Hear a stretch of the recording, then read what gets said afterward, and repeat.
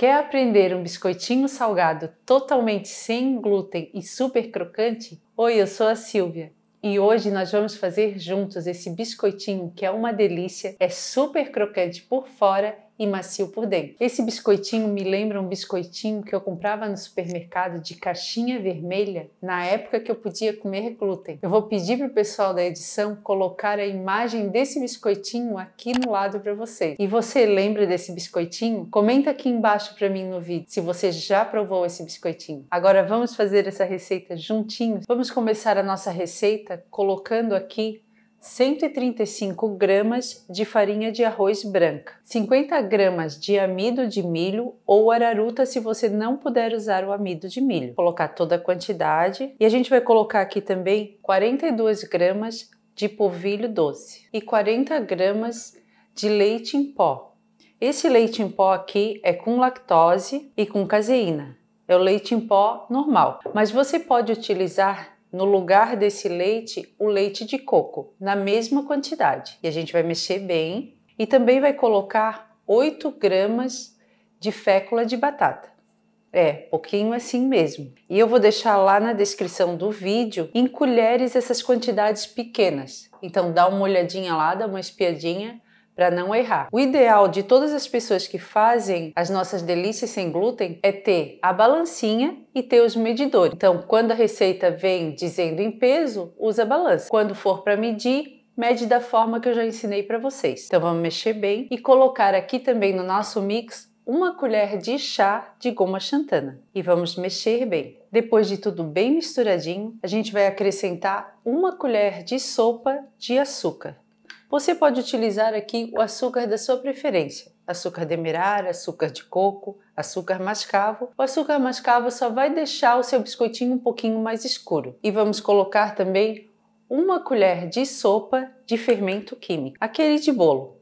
E eu já falei para vocês, quem não puder utilizar também o amido de milho, pode fazer o seu fermento. Eu vou deixar também aqui na descrição do vídeo como você pode preparar o seu fermento químico em casa sem utilizar o amido de milho. E agora aqui a gente vai usar um sal, aquele sal de churrasco, só que um que é mais fininho. E eu vou colocar aqui meia colher de chá. Ó, quero que vocês vejam como ele é, granulado mesmo.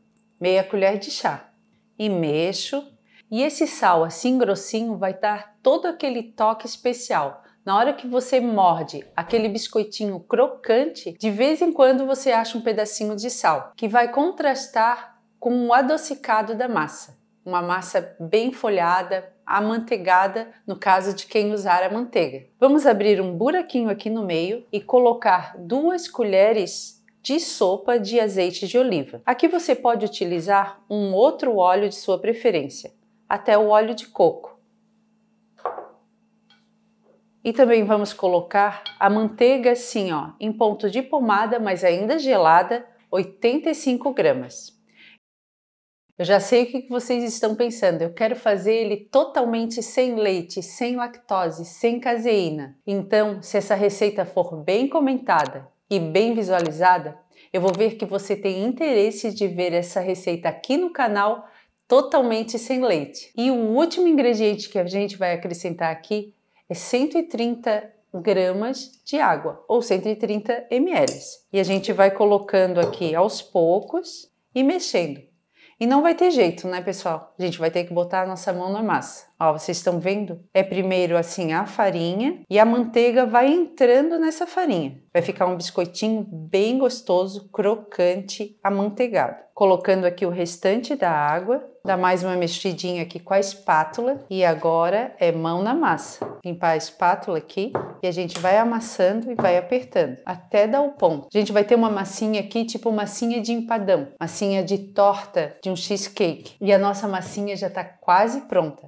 A manteiga já entrou na nossa massa e ela está ficando homogênea. E ela é bem suave. Vocês estão vendo que ela já está desgrudando da mão? A gente vai juntar ela agora como se fosse uma bolinha e levar ela para descansar por 30 minutos na geladeira. Então a minha bolinha já está pronta, e eu vou colocar aqui num saquinho de geladeira. Assim ela fica protegida, não resseca, mas esse tempinho na geladeira é muito importante para na hora que a gente for moldar a nossa massinha. Agora que a nossa massa já ficou meia hora lá dentro da geladeira, a gente vai tirar ela aqui do saco. Eu vou pegar só a metade para começar a trabalhar, a outra metade eu vou manter na geladeira, para ela continuar geladinha. Agora você vai ter que decidir se vai querer ele mais fininho ou mais grossinho. Assim ele fica um pouquinho mais crocante e assim ele fica mais fofinho por dentro. Mas os dois ficam excepcionais. Hoje eu vou utilizar um rolo aqui diferente do tradicional, mas se você não tiver esse rolo, você pode utilizar o tradicional. Qual é a vantagem que tem utilizar esse rolo, Silvia? É determinar a espessura que eu vou deixar da minha massa. Então aqui ele tem alguns acessórios aqui do lado e aí você vai determinar qual vai ser a espessura da massa que vai ficar. Ó, com 2 milímetros, com 3, com 6 ou com 10 milímetros. E eu confesso para vocês que eu procurava esse rolo e nunca achava. Dessa vez eu achei, nunca tinha usado e ele é muito bom para usar, porque realmente toda a massa fica niveladinha na mesma alturinha. E quem quiser conhecer, eu vou deixar o link aqui na descrição do vídeo. A gente agora vai colocar um pouquinho de farinha de arroz, mexer nela assim, ó, ela tá bem geladinha e vamos decidir se a gente quer fazer ela grossinha ou mais fininha. Vou fazer alguns mais grossinhos para mostrar para vocês e uns mais fininhos. Primeiro eu vou fazer o biscoitinho com a espessura de 3 milímetros. Então eu coloquei aqui a pecinha correspondente a essa espessura e ele vai ficar assim, ó, depois de assadinho. Então a gente começa abrindo aqui a massa, vai colocando um pouquinho de farinha de arroz, farinha de arroz purinha e vai abrindo. Estão vendo até encostar a pecinha ali na mesa, na bancada, né? A gente vai dar uma viradinha primeiro aqui na massa, com a ajuda da espátula abrir de novo. Tem mais uma viradinha, mais uma dobradinha para continuar abrindo a massa. Quem não tiver esse rolo, para se basear na altura, pode usar duas réguas laterais e passar o rolo por cima. Quando as duas pecinhas estiverem encostando na bancada, a nossa massinha está nivelada. Vou mostrar para vocês a espessura que ela está aqui, ó, bem fininha. Vocês conseguem ver? Agora eu vou cortar os nossos biscoitinhos. Eu vou usar aqui esse cortador redondinho e esse quadradinho para mostrar para vocês, mas você pode utilizar um copo ou um potinho para fazer o corte dos seus biscoitinhos. Não precisa ter o cortador. Então a gente vai lá, vai medindo, vai cortando. E aqui a gente vai dar uma marcadinha para fazer aqueles furinhos que vocês viram no biscoitinho ali pronto. Então eu vou ali com um palitinho de churrasco, faço um buraquinho no meio e faço mais seis buraquinhos. Daí ele parece aquele biscoitinho industrializado. E no quadradinho, a mesma coisa. Vou lá, marco meu biscoitinho, vou fazer um aqui no meio e vou fazer dois.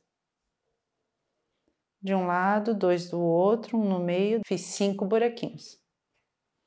E vou fazer isso na massa toda. Esses cortadores eu achei na internet, eles são bem baratinhos. E achei bonitinho porque ele faz o formato mesmo do biscoitinho igual industrializado. Agora, numa forma protegida com papel manteiga, a gente vai colocar os biscoitinhos para levar para assar. Aí cuidado na hora de fazer esse transporte do biscoitinho moldado para sua forma.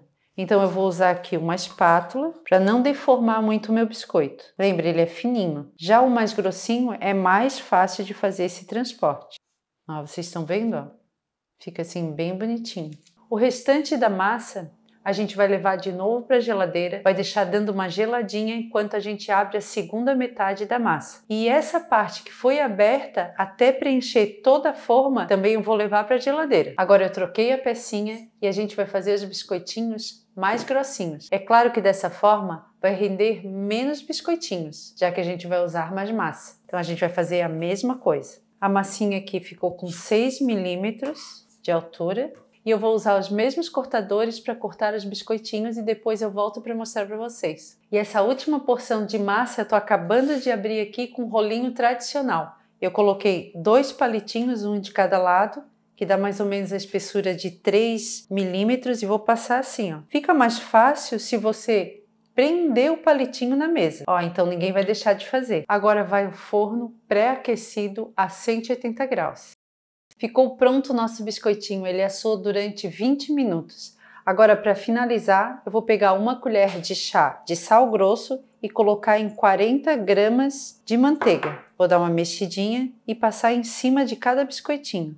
E o salzinho depois vai aparecer. E a gente vai fazer isso em todos os biscoitinhos. Esse biscoitinho eu deixei ele assar um pouquinho mais para ele ficar mais crocantezinho. Olha só como ele ficou por baixo e realmente ele ficou mais crocante. E agora chegou a melhor hora. Eu vou provar um biscoitinho. E para isso, eu quero que vocês ouçam bem direitinho como ele é crocante. Olha só, vou colocar o microfone bem pertinho.